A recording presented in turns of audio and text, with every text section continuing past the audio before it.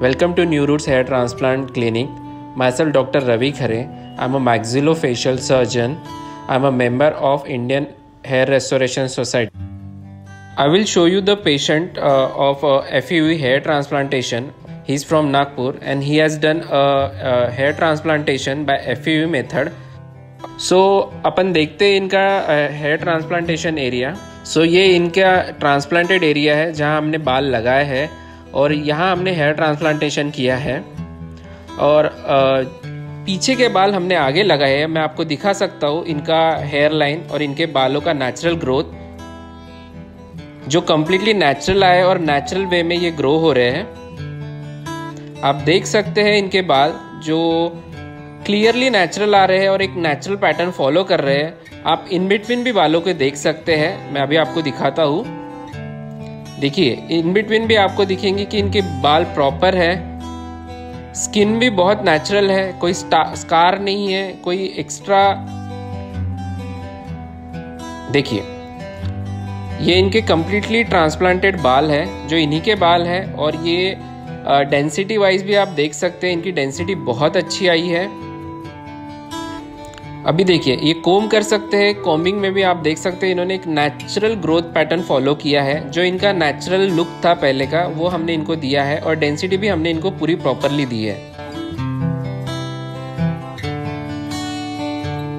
Hair line भी हम बता सकते हैं इनका हेयर लाइन और इनके बालों का ग्रोथ जो इनका बैकवर्ड ग्रोथ था, वो बैकवर्ड ही जा रहा है और हेयर लाइन देखिए, इनका जो फोर फिंगर्स का माथा है वो माथा हमने कवर करने के बाद जहाँ से इनका नेचुरल हेयर लाइन आता है साइड में भी आप देख सकते हैं, वो इनका नेचुरल हेयर लाइन आया है।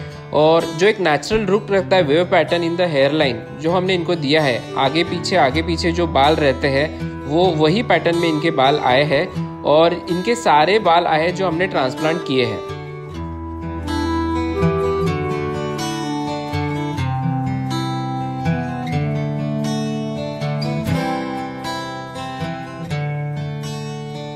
आप देख सकते हैं इनका स्किन जो कम्प्लीटली हेल्दी और नॉर्मल है।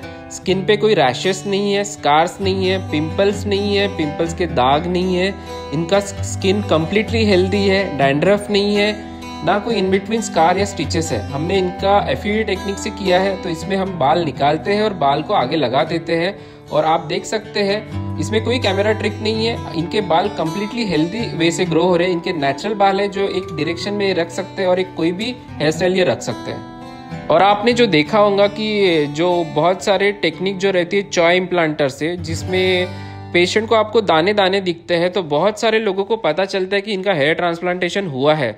इनके केस में आपको वो भी नहीं दिखेगा, क्योंकि इनका जो हेयर ट्रांसप्लांटेशन है, हमने स्लिट मेथड से किया है। और हमने मिनिमाइज किया है जितना मिनिमाइज कर सकते स्कारिंग और इनमें कुछ भी नहीं आया है, ये हमारे रिजल्ट्स है। तो आइए अभी देखते हैं इनका डोनर एरिया जहाँ से इनके हमने बाल निकाले हैं। डोनर एरिया वो होता है जहाँ से हम हेयर ट्रांसप्लांटेशन के लिए आप ही के बाल निकाल के उसको आगे लगाते हैं।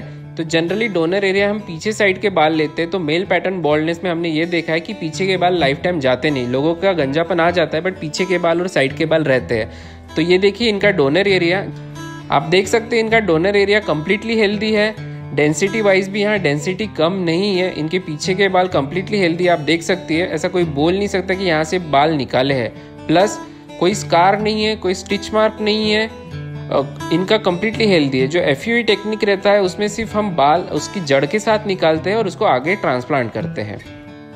और इनका पीछे का भी डेंसिटी मेंटेन रखते हुए हमने इनके आगे के बाल का भी डेंसिटी इनको बहुत अच्छा डेंसिटी दिया है और एक नेचुरल लुक दिया है आप देख सकते हैं कोम्बिंग में भी इनके बाल कम्प्लीटली सेम पैटर्न में हेल्दी है, बालों का क्वालिटी भी हेल्दी है और आप बाल देख सकते हैं कि मैं कोम कर रहा हूँ अभी, कोई प्रॉब्लम नहीं है